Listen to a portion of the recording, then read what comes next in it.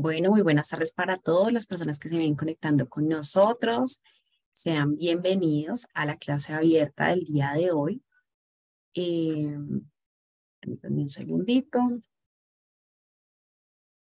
Listo. Bueno, muy buenas tardes para todos. Sean bienvenidos a la clase abierta porque debo aprender ciencia de datos.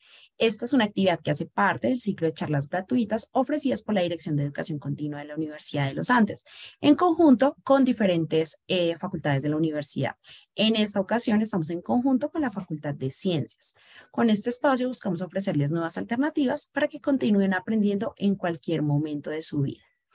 Y bueno, antes de iniciar, queremos contarles que tendremos un espacio para responder sus preguntas. Entonces, los invitamos a que envíen sus comentarios aquí en el espacio de preguntas y respuestas si están en Zoom. Y si tal vez nos están acompañando por Facebook, los invitamos a que nos envíen sus preguntas a través del espacio de comentarios. Eh, les recordamos que este evento está siendo grabado, por lo tanto, eh, a través de correo electrónico les enviaremos el enlace para que puedan volver a verlo. Bueno, y a propósito de esta clase abierta, queremos contarles que tenemos un curso sobre esta temática. Es el curso Estadística y Herramientas Computacionales para el Análisis de Datos. Este curso tiene un descuento especial por pronto pago antes del 26 de mayo, así que los invitamos a que ingresen a la página web del curso, lo conozcan y pues eh, tengan más información. Aquí a través de chat les he compartido el enlace para que tengan más información.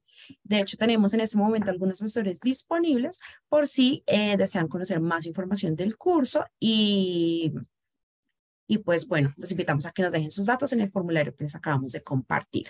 También se pueden registrar en la página web del curso eh, para recibir más información. Y bueno, sin más preámbulo, el día de hoy nos acompaña como panelista de este evento el doctor Manuel Alejandro Segura Delgado. Em, él es doctor en física de altas energías, posee amplia experiencia en el análisis eh, de gran volumen de datos, desarrolló su trabajo doctoral en el laboratorio de CERN en Ginebra, Suiza. Profe Manuel, muy buenas tardes, ¿cómo estás? Gracias por aceptar esta invitación. Eh, muy buenas tardes, a todos y a todas. Eh, tengo, no sé qué pasó. ¿En tu cámara? La, sí, sí, señora. Oh, qué raro. Espérame, a ver, miramos a ver si acá pasó algo. Ahorita que hicimos la práctica, funcionó. Bueno, voy a salir y lo voy a intentar de nuevo, ¿sí? Listo, profe, dale, no hay problema. Listo, todos pues saben que estamos en vivo, estamos en directo, entonces estas cosas suelen suceder. Vamos a darle un minutico al profe para que pues vuelva a conectarse y, pues pueda como, como mostrar, eh, encender su cámara. Listo, profe. Ya ahí permisos de confitrión para que puedas compartirnos el material que traes para la tarde de hoy.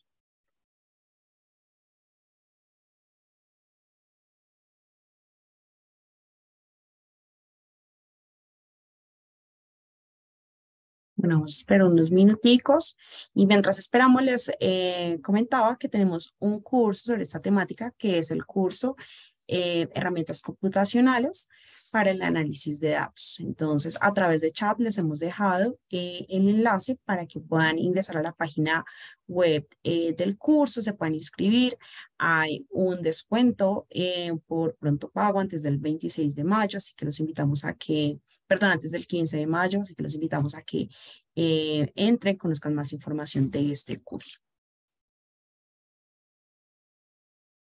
Mm, bueno, vamos a dar un espacio les eh, pedimos cinco minuticos de, de, tiempo, por favor, para que le demos espacio al profe, que ya está teniendo como unos problemas técnicos de, para conectarse, pero pues en breve ya nos estará, estará ingresando a la sesión nuevamente.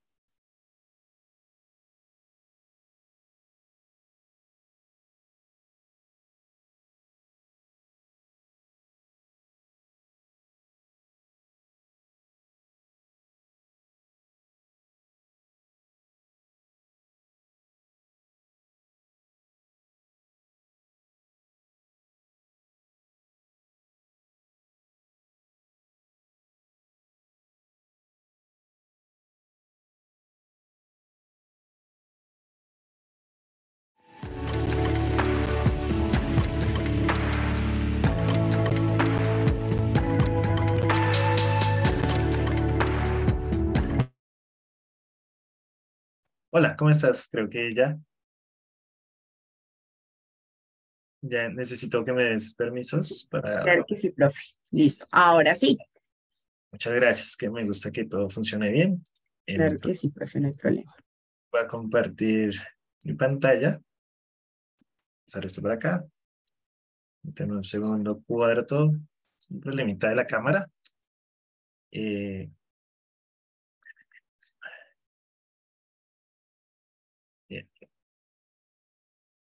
Muy bien, entonces tú me comentas, voy a poner aquí de pronto para conocerlos. Muy buenas tardes a todos y a todas. Gracias por conectarse. Me comentas si ya puedo iniciar.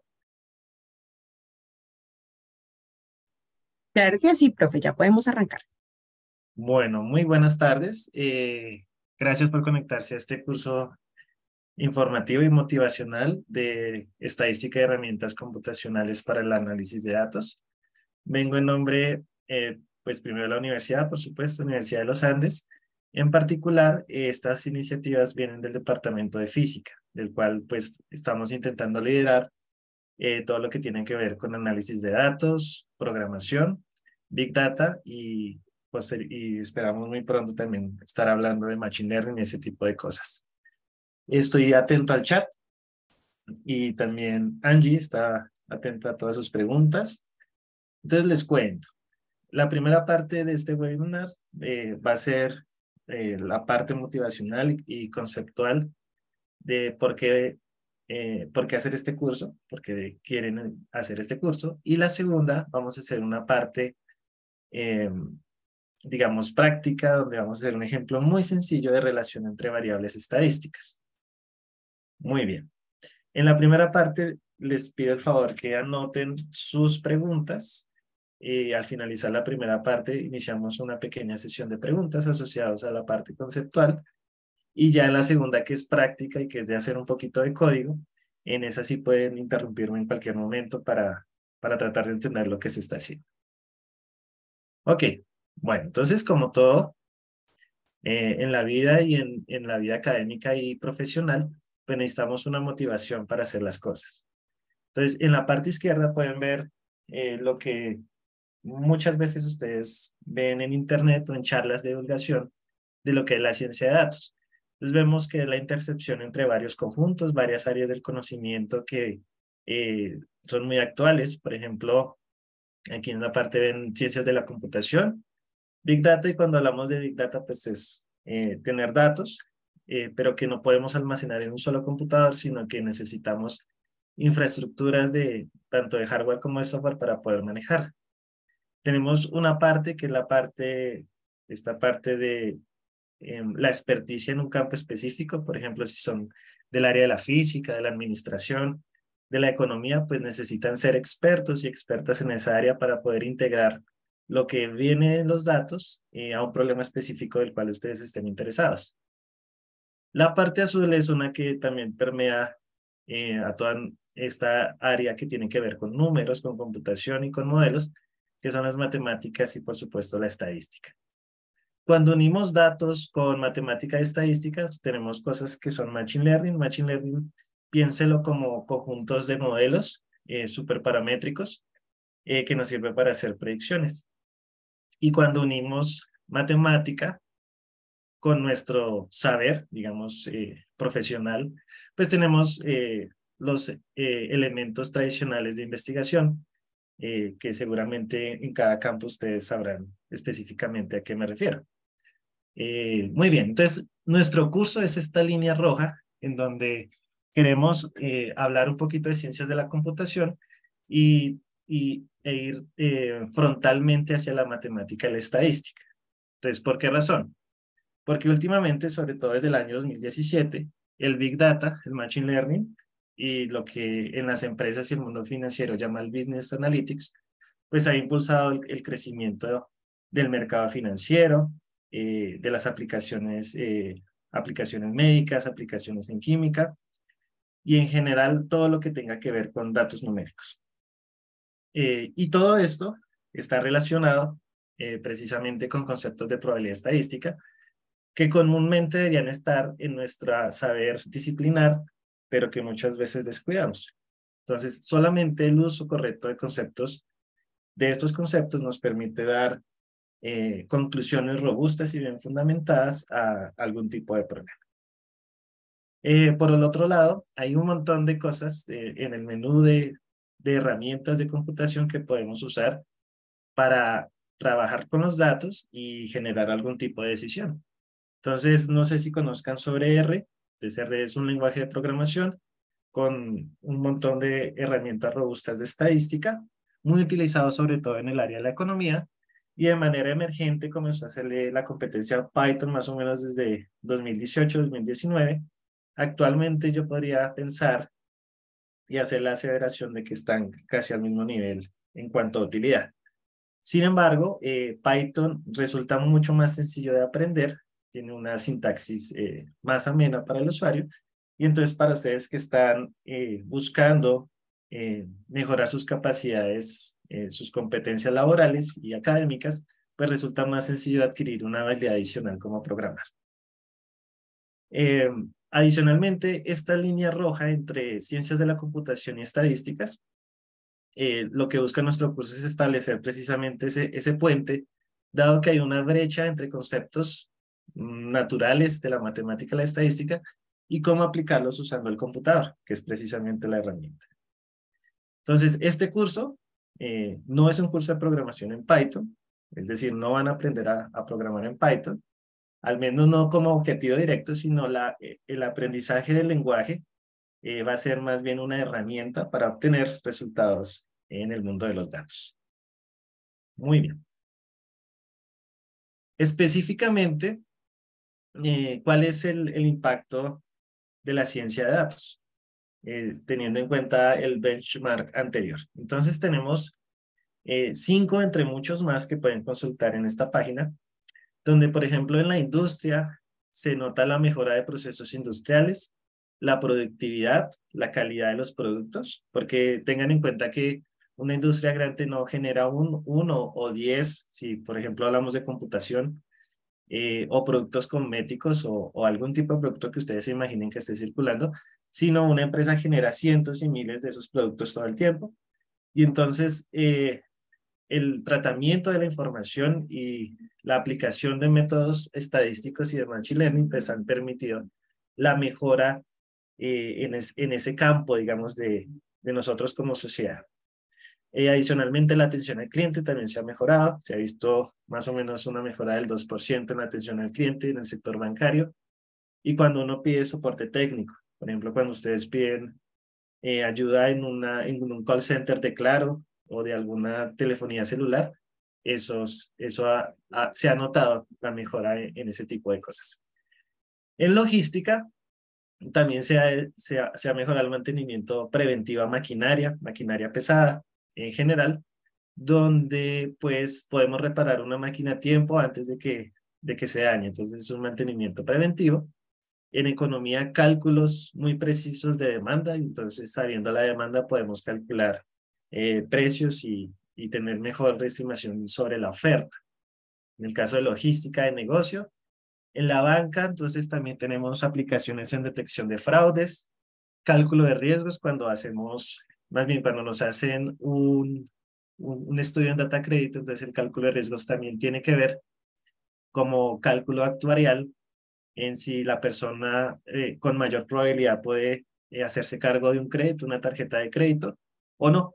Entonces eso se basa en cálculos estadísticos y también la segmentación de clientes sobre todo en el mundo bancario, clientes que son de tipo 1, tipo 2, donde pues tipo 1 tiene que ver con capacidad de pago o no capacidad de pago, etc. En recursos humanos también se ha beneficiado nuestra sociedad, por ejemplo, en la selección de personal con ciertos perfiles muy específicos que son requeridos y habilidades muy específicas. Entonces, el, el hacer parte de este curso, pues les va a generar una habilidad adicional en su, digamos, eh, en su baraja de habilidades eh, a nivel de competencia laboral. Por otro lado, en hospitales, algo que no es raro para ustedes, pronóstico de enfermedades con bajo fake rate. El fake rate es eh, porcentaje de, falso positivo. Es decir, que, por ejemplo, si se hace un diagnóstico de cáncer, tener que el error de diagnosticar un error eh, de diagnosticar un paciente con cáncer sea lo más pequeño si el paciente realmente tiene la enfermedad. Entonces, eso tiene que ver con probabilidad estadística y con análisis numérico. Adicionalmente, se espera, por ejemplo, para 2030, que el PIB, el Producto Interno Bruto, a nivel mundial aumente en 14%. Eh, en Colombia esperamos un crecimiento del 3.6%.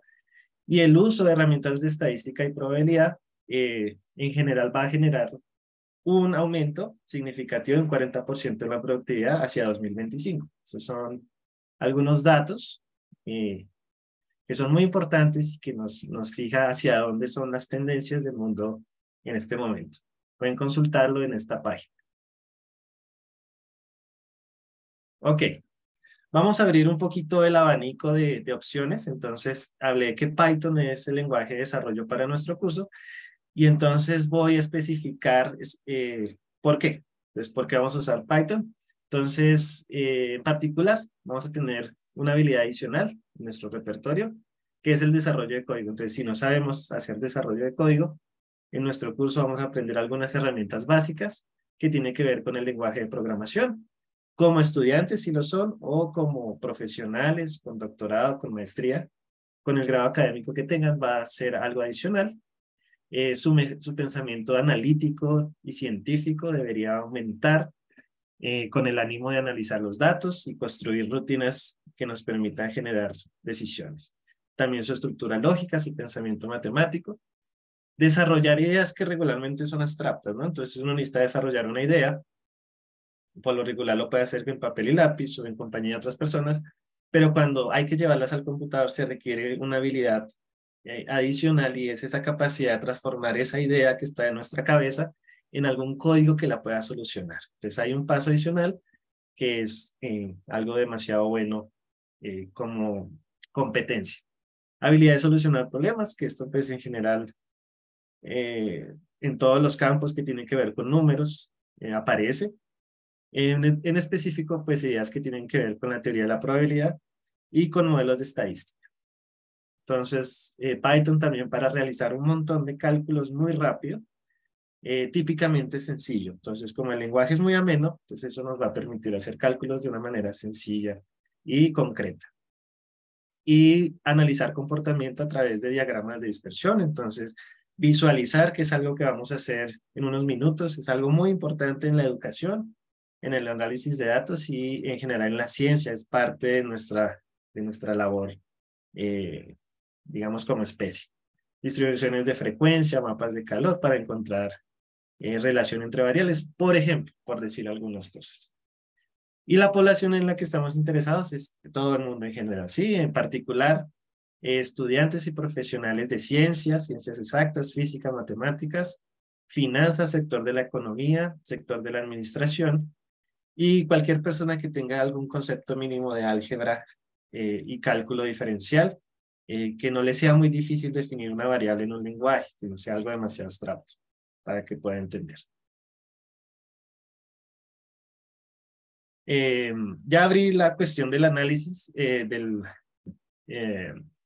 la cuestión del lenguaje, y ahora me voy a enfocar en qué es la ciencia de datos. Entonces, de una manera muy, muy genérica y superflua, quiero que vean este diagrama, este diagrama, entonces aquí está la cajita, que es una cajita con la que se simboliza, por ejemplo, SQL, que es eh, un gestor de bases de datos. Entonces aquí son los datos. Y lo importante de los datos en sí no es el número como tal, sino que hay codificada información. Información a la cual no, en general no tenemos directamente y por eso necesitamos generar algún modelo por acá en, el, en, el, en la mitad que nos mejore el modelo de negocio si se trata de un problema de mercadeo, problema del área financiera. Y esos modelos pues nacen eh, la información está en los datos, pero nacen en, conceptos muy fundamentados de la estadística y la probabilidad. Entonces, los, los datos podrían ser, para este ejemplo, los niveles de venta que tiene nuestra, nuestra empresa o nuestro banco. Eh, si se habla de, de que se está generando un producto, la inversión que hace la empresa en marketing, el costo que tiene adquirir un cliente y los datos de los clientes. Entonces, la segmentación de clientes hace parte de esto. Y la ciencia de datos, entonces, como puente conector entre esto que podemos medir y lo que queremos hacer. El objetivo es hacer algo, por ejemplo, incrementar las ventas de nuestro negocio, reducir costos de adquisición de un nuevo cliente. Entonces, cuando invertimos en publicidad, que el costo de adquirir un nuevo cliente sea tan pequeño como sea posible y mejora la tasa de retorno. La tasa de retorno es que si tú inviertes dos pesos eh, en adquirir un nuevo cliente, ¿en cuánto tiempo retornan esos dos pesos al negocio? Entonces, todo, tiene, todo está relacionado con los objetivos de negocio y entonces el mejorar tiene que ver con un proceso de toma de decisión y el proceso de toma de decisión es inferencia bayesiana, básicamente. Entonces, eh, ¿cuáles son los conceptos fundamentales? De nuevo, eh, necesitamos hablar de probabilidad de una manera, eh, digamos, nadando en aguas poco profundas, pero de una manera muy específica ciertos conceptos, estadísticas y, por supuesto, programación, dado que no podemos manejar ni de chiste la cantidad de datos con la que contamos hoy en día. Bien, por otro lado, en las ciencias, por ejemplo, en la parte superior izquierda ven lo que sería un esquema del Grid Computing del CERN, del Laboratorio de Física de Partículas de Ginebra. Y entonces, eh, para que se hagan una idea, hacia 2017 se tenían 200 petabytes de información. Entonces, su computador básicamente tiene, eh, ¿cuántas gigas podrían tener? Son discos duros de, ¿de cuántas gigas? ¿Cuántas gigas es su disco duro? Alguien que que me pudiera responder eso. Aquí estamos. Bueno, el tamaño típico de un disco duro de estado sólido en computador como este es 500 gigas. Entonces, un petabyte es un millón de gigas para que se hagan una idea de cuánta información se ha recolectado. Y se han, hacia 2017 habían 200 petabytes eh, de información. Entonces, manejar ese mundo de información resulta muy complejo y se requieren de ciencias de la computación para eso. En otros sectores del conocimiento, por ejemplo, Gaia, que es, es un experimento, es un satélite que toma información de nuestro universo en la Agencia Espacial Europea. Al día de hoy tiene la información de 1.800 millones de estrellas en catálogos súper pesados y densos, de, en la cual parte de, del área de astronomía del Departamento de Física trabaja activamente analizando, tratando de entender cosas de ese, de ese tipo de cosas, de ese tipo de eh, problemas científicos.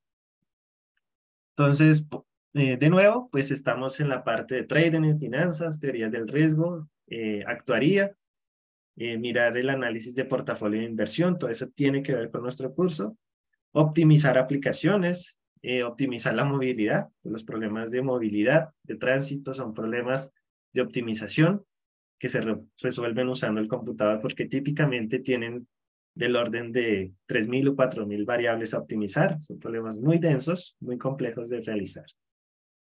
En física, de nuevo, por última vez, entonces tenemos reconstrucción de objetos utilizando herramientas de aprendizaje, agrupación de objetos, por ejemplo, grupos galácticos, eh, clústeres de, estrellas son eh, definidos utilizando algoritmos de aprendizaje, clasificación de objetos, que podrían ser clientes, clientes que pagan, clientes que no pagan, eh, estimación de, y composición de eventos, esto es mucho más técnico y complejo, y la exclusión de modelos. Entonces, eh, dada una observación, eh, cómo la probabilidad de la estadística nos puede ayudar a decidir si el modelo 1 es válido y el modelo 2 no lo es. En general,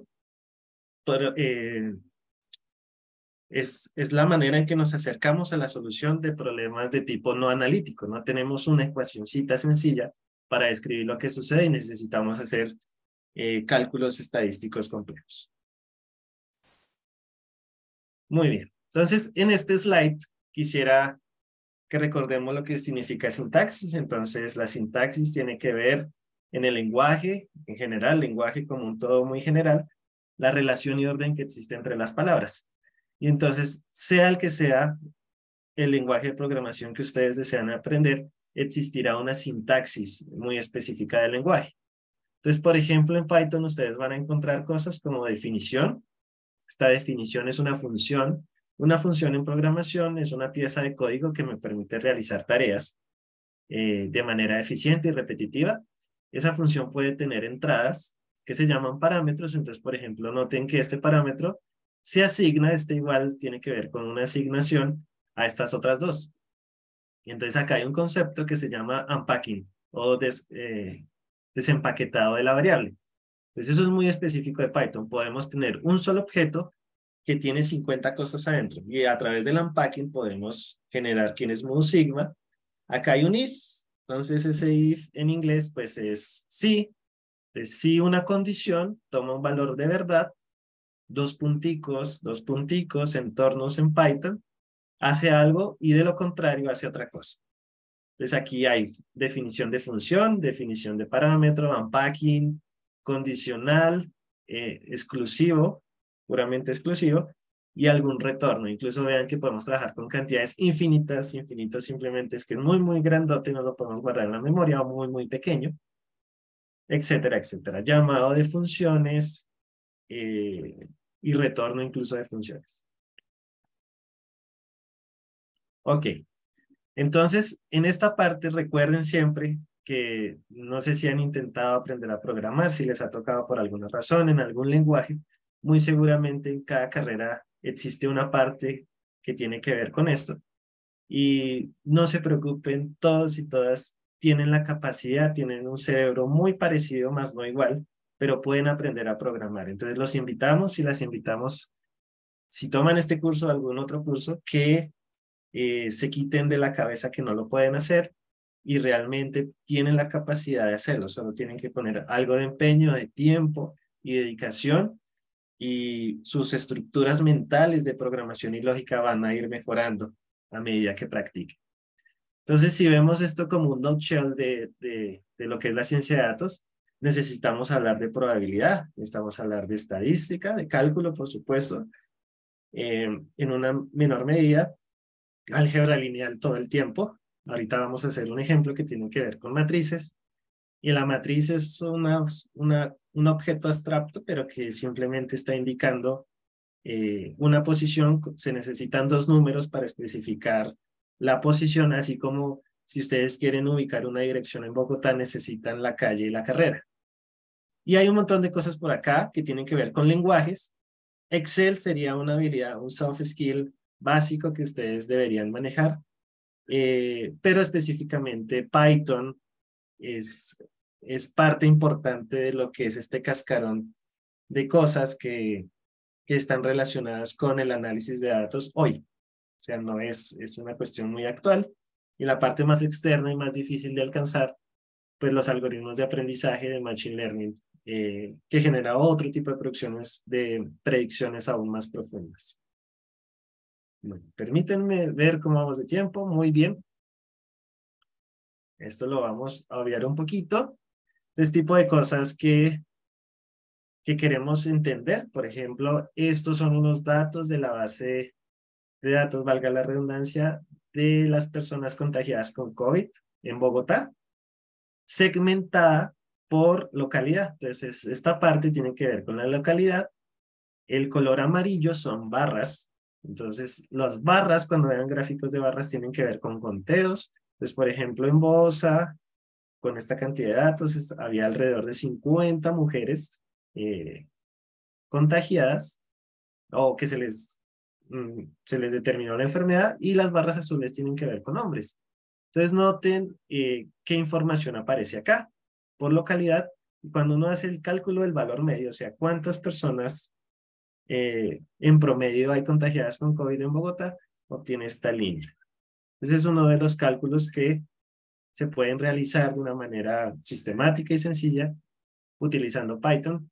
Entonces noten que es alrededor de entre 90 y 100 personas en promedio habían contagiadas en Bogotá. Creo que esto era para el mes de junio de 2020, que fue cuando empezó la pandemia.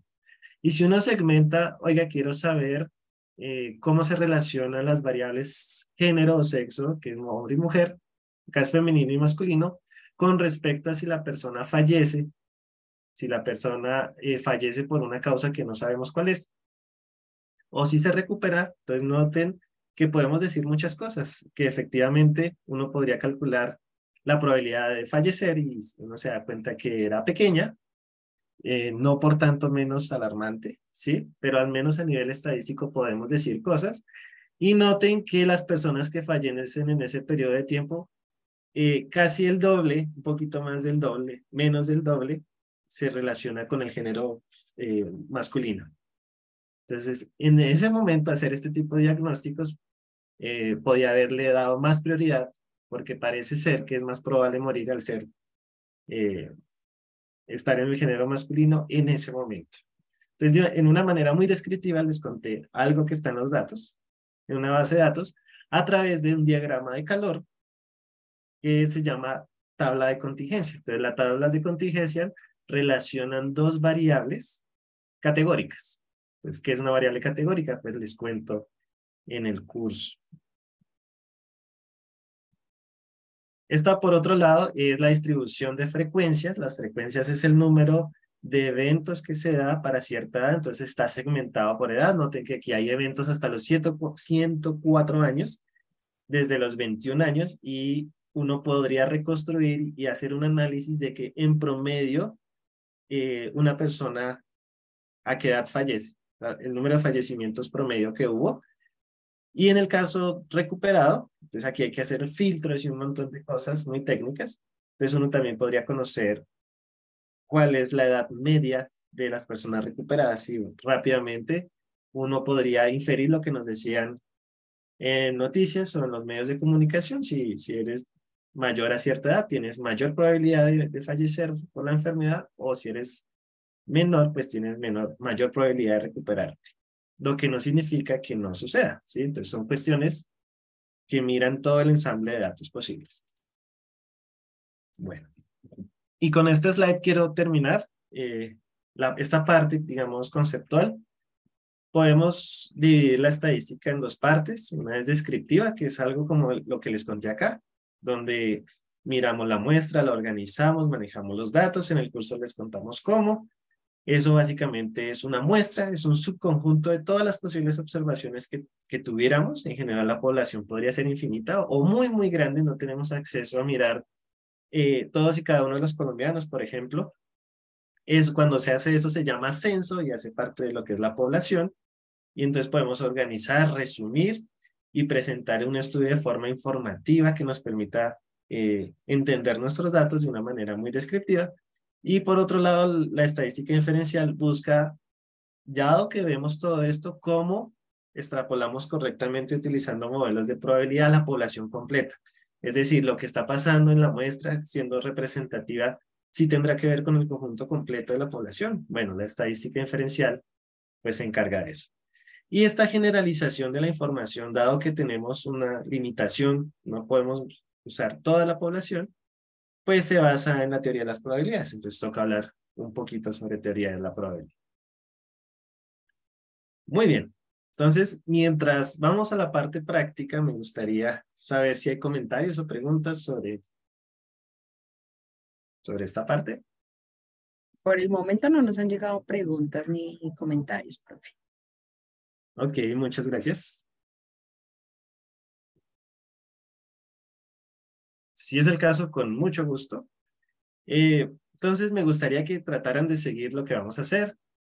Permítanme. Eh, Profe, qué pena. Nos llegó una pregunta que dice, ¿qué es R?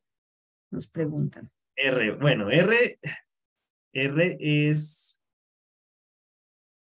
una de esas cosas que se, se desarrollaron. Es un lenguaje de programación, empecemos por ahí, de alto nivel, lo que significa que es de alguna manera sencillo de manejar, de manipular, y está completamente orientado a la ciencia de datos.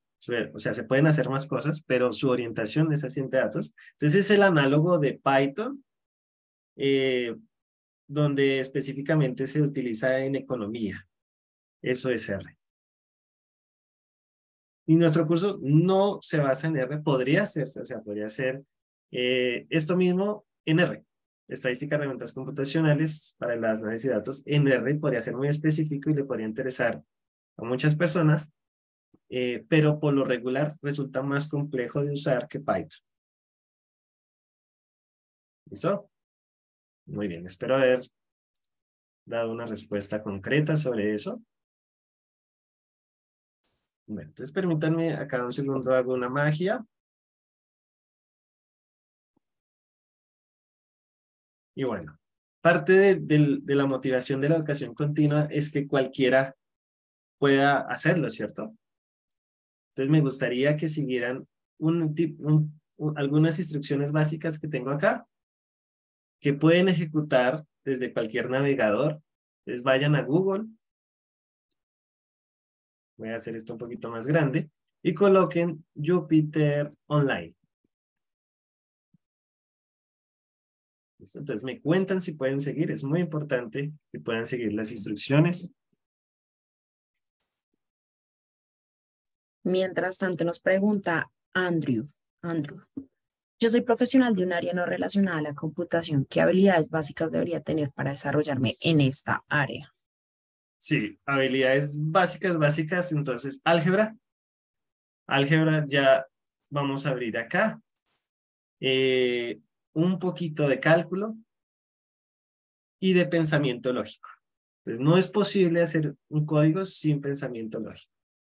¿Listo? Si, si A es verdadero y B es verdadero, entonces la conjunción A y B es verdadera. Entonces, si eso no, no está ahí, se hace más difícil. O sea, va, la curva de aprendizaje es más alta, dado que programar requiere ese tipo de pensamientos, pensamiento algebraico y de lógica.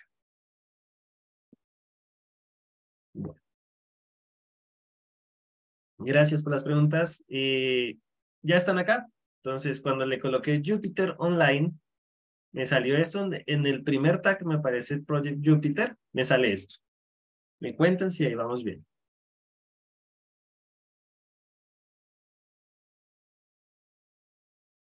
Entonces, estamos como en una clase de nuestro curso. Vamos a ir al Jupyter Light, Light perdón. Jupyter es simplemente un framework, algo que está como embebido en el, en el explorador que nos va a permitir escribir Python y que si ustedes no tengan instalado Python, van a poder escribir hoy en nuestro webinar un par de instrucciones. Entonces, una vez estén acá en el Jupyter Lite, que de hecho puedo colocar el link en el chat, para que vayan directamente al link. Entonces, démosle más acá y nos da varias opciones. Entonces, por ejemplo, si quiero trabajar con bases de datos SQL eh, de una manera light, eh, quiere decir que hay un, hay un mínimo de herramientas, digamos, by default, que hace que funcione y de pronto hay cosas que no funcionen. Entonces vamos a ir a Python y aquí vamos a poder escribir cosas. Entonces permítanme hacer esto más grande. Me gustaría saber si ahí están. Es más, puedo copiar este link al chat y ahí, digamos, podrían ir directamente a un entorno donde van a poder ejecutar código. Muy bien. Y vamos a hacer un ejercicio sencillo. Vamos a inventarnos unos datos y vamos a estudiar el concepto de correlación en 10 minutos. ¿Listo? Para eso necesitamos algunos paquetes. Entonces, import numpy a CNP, import matplotlib, pyplot as plt y vamos a importar pandas. Entonces, permítanme copiar esto en el chat. Porque, digamos, a veces uno no tiene en cuenta la sintaxis. Entonces, import es llamar un paquete. Antiguamente se llamaban, se llamaban librerías en los lenguajes de bajo nivel, como C++, Fortran, etc. Actualmente son paqueterías que mucha gente muy buena, muy pro, ha desarrollado para ayudarnos a, a, resolver problemas. Entonces, la primera NumPy tiene que ver con análisis eh, numéricos, o sea, para trabajar con números. La segunda tiene que ver con graficación. Recuerden que es muy importante graficar y ver qué está pasando. Y la tercera, Pandas, es como el Excel de Python. Entonces quiero que se queden que es el Excel de Python. ¿Cómo se ejecuta? Colocan Shift, Enter. O van acá. Esto también ejecuta el código. Entonces, en run se ejecutan las líneas.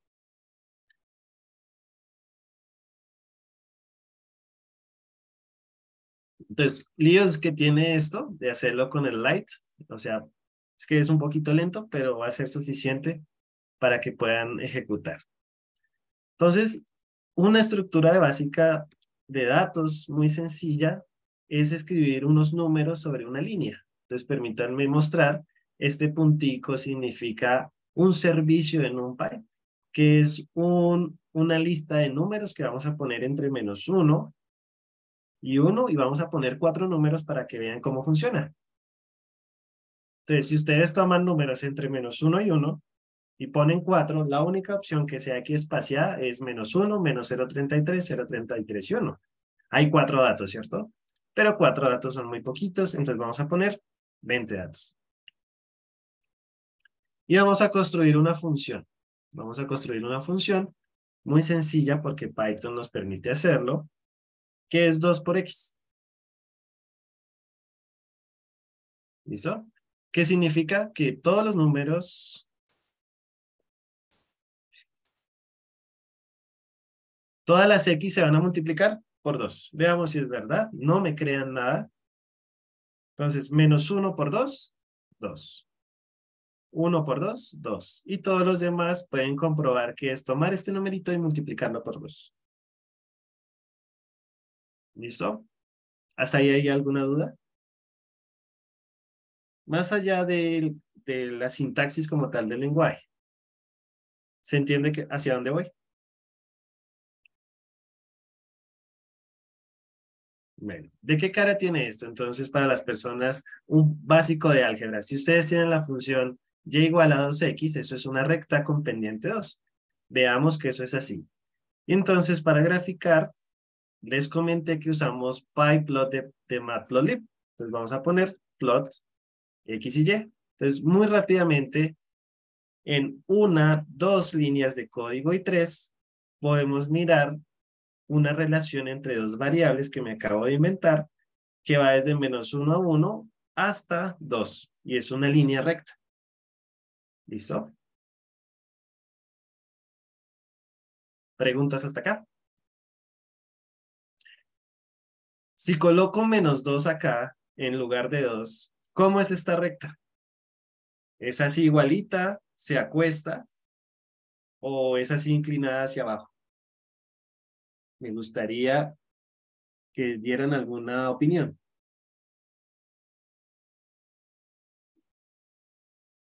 Recuerden que tenemos el espacio de preguntas y respuestas habilitado o si desean pueden levantar la mano y les podemos dar permiso para que puedan encender sus micrófonos. Claro que sí. Gracias.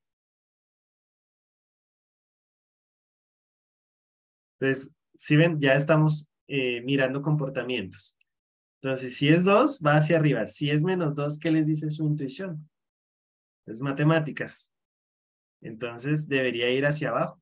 Veamos.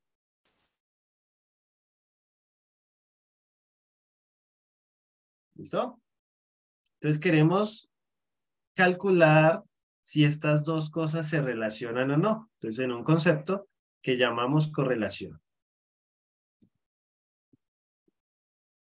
la correlación mide en estadística si dos variables tienen una asociación lineal. Aquí la asociación lineal será perfecta. Aquí también será perfecta por construcción, porque me los inventé. Pero necesitamos algo en la estadística que nos mida eso. Entonces, para hacer eso, vamos a meter los datos en una hoja de cálculo de pandas. Pues, ¿cómo funciona? de una manera más o menos sencilla, eh, vamos a decirle pandas. Punto, recuerden el punto en Python es llame un servicio, en este caso un data frame es una hoja de cálculo como las de Excel, y aquí mete un, un diccionario. Entonces, imaginen que ustedes están trabajando con, en economía, con valor de producto. Esos serán los X. Y eh, precio. Son dos variables que aparecen en economía. Y. Entonces, nuestro DF, que es nuestra hoja de cálculo, vean que ya es muy distinto a los de arriba. Entonces, en el curso les vamos a mostrar cómo esta estructura, acá hay una estructura llamada diccionario, aquí hay una estructura llamada lista, que hablamos más ampliamente en el curso. Y colocando el diccionario en el data frame se genera precisamente este, em, esta hoja de cálculo que se puede guardar, etcétera. Eh, pero no tenemos el tiempo para eso. Entonces vamos a graficar de nuevo cómo se grafica usando la hoja de cálculo, aún más sencillo, plot. Le decimos de qué tipo. Es un scatter. En español scatter es dispersión. Es un diagrama de puntos donde X vale X, eh, perdón, X vale, le puse valor del producto y Y es el precio del producto. Entonces, aunque es el mismo gráfico, noten que con pandas ya me aparece el rótulo de la variable a la cual estamos interesados porque un número en datos no significa nada si no tiene un contexto. Entonces acá estamos hablando de un precio y aquí estamos hablando del valor del producto. Muy bien. Entonces, ¿cómo calculamos la correlación? Entonces, si ustedes van y miran acá la matriz de covarianza y van a algo así como Wikipedia, que es algo rápido, encuentran un montón de fórmulas feas eh, que requieren no demasiadas matemáticas, pero sí tener algo de experiencia con matemáticas y es una matriz, es una cuestión que es como un cuadrito, como una imagen en el computador. Y entonces nos toca hacer todo esto. No. Pandas, Python específicamente, tiene un método que se llama correlación.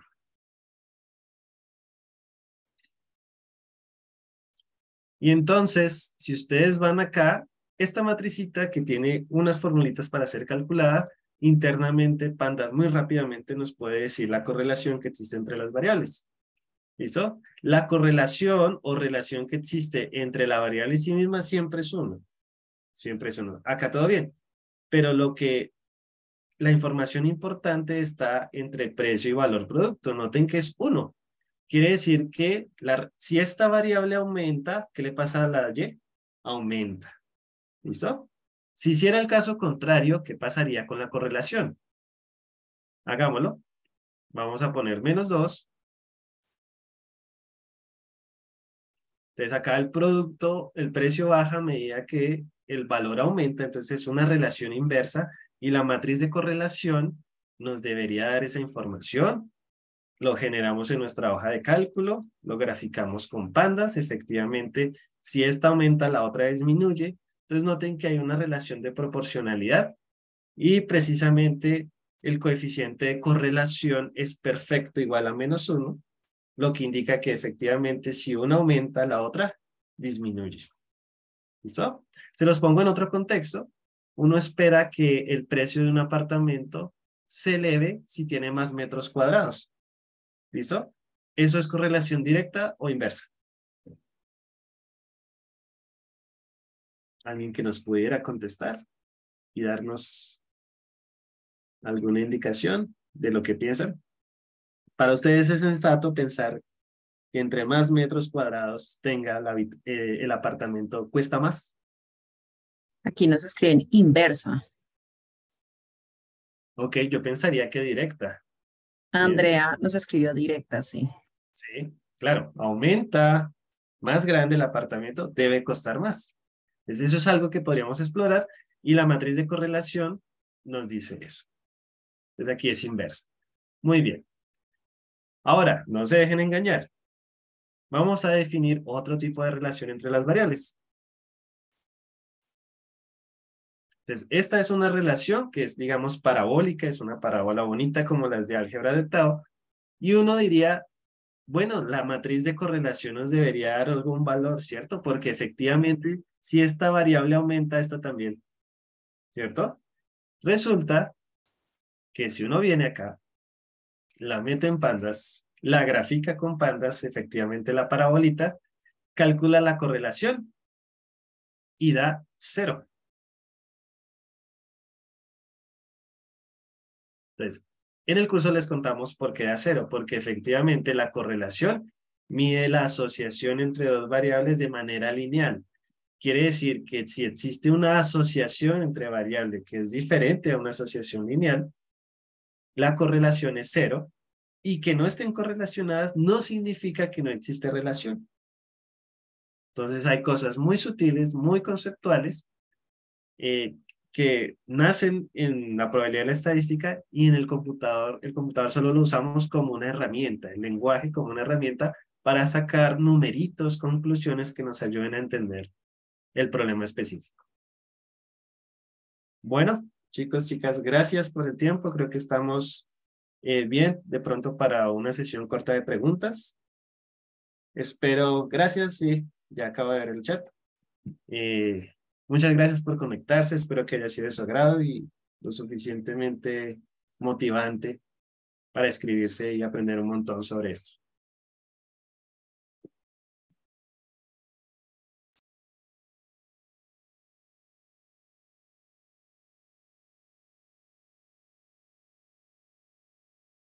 Tienes el mic apagado, Angie. Gracias, profe.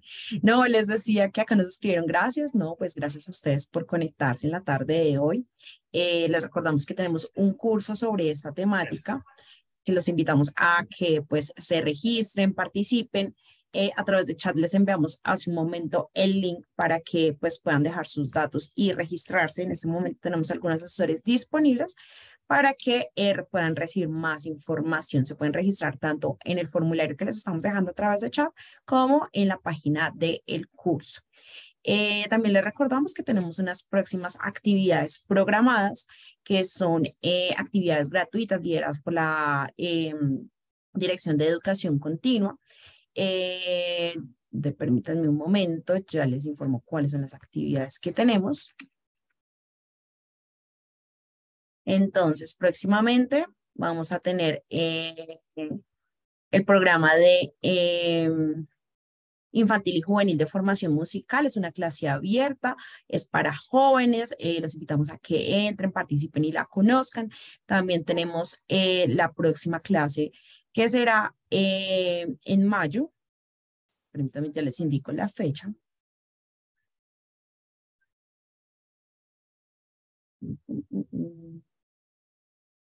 Ya, listo. Entonces vamos a tener el programa, conoce el programa infantil y juvenil, es liderado por la Facultad de Artes y Humanidades el sábado 13 de mayo a las 9 de la mañana, aquí presencial en la universidad. Es una clase abierta.